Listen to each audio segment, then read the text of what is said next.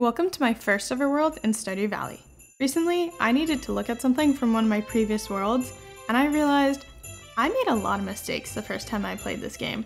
So here's just a little overview of what I found when I went back through that world.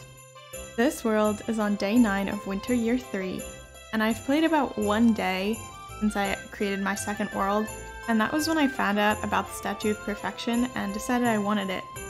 Because before that, I think I had three candles, so I was not able to get a Statue of Perfection, but now I have five. Uh, the first thing you notice when you log into this world is that I have one house upgrade, because I didn't know what I needed beyond a kitchen, and now I know that I can get a basement. But I was I was unaware of the basement before this. I have two fish in a fish pond. I have six barn animals and six coop animals, uh, with no hay. Which uh, I, could be worse. It could be worse. I could have less animals. Also, if you look at this little island right here, this is the only place where I would farm because it was close enough to where I was and I put all of my actual buildings closer to my house. But I didn't really farm a lot, and also this was just not the best map to choose as a first time Stardew player because I could never get anywhere. As you can see, I kind of get stuck everywhere. And this is not just a, oh, I haven't played on the world in a while, it was a, I got stuck everywhere. However, I do have four sprinklers, two in the greenhouse and two outside the greenhouse on that little island which is a lot more than I have in my current world. So I'm kind of impressed, and two of them are iridium. That's pretty good. Also, I actually have friends in this world, and the way that I did that was every day I'd pick the two friends on the bottom of the list of my friend list and give them a gift that I could keep up friendships with everyone. Also, I'm dating Sam. I made this world before I really understood what the fruit bat cave was, so I have the mushroom cave.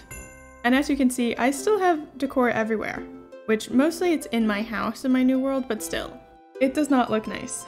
So I did manage to complete the community house in this world, but I have not yet been able to get in the casino because I did not know what it meant to give the sand dragon its last meal. But I, I've been everywhere. I've I've gotten down to floor 100 in Skull Cavern. It's not like I haven't done it, I'm just not good at it. I did not finish the movie theater, in part due to the fact that I didn't have a basement and couldn't figure out how to make Gold Star wine. The museum is almost done. I feel like this is pretty impressive. I I spent a lot of time mining. That is one of my favorite things to do in this game. I also didn't know that I could be roommates with Krobus, which is why he's a good friend of mine, but not living with me.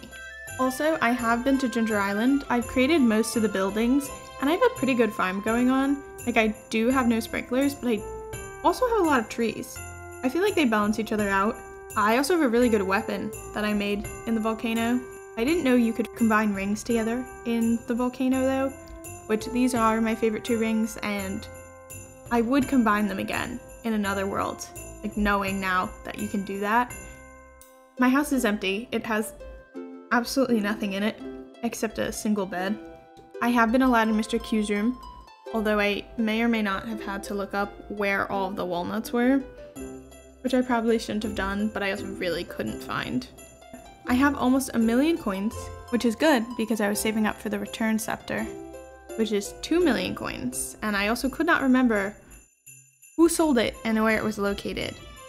However, I think I've been saving up for the return scepter for about a year, so uh, at this rate, I am never actually gonna get it. Of course, I have the garbage bear who I love, but I don't cook, so he actually is still waiting for me to give him food. And as you can see, I actually have made a lot of progress in this world.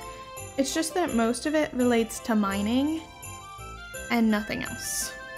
But honestly, overall I think I did a pretty good job for our first world. If you liked this video, please like and subscribe, and I hope to see you here again.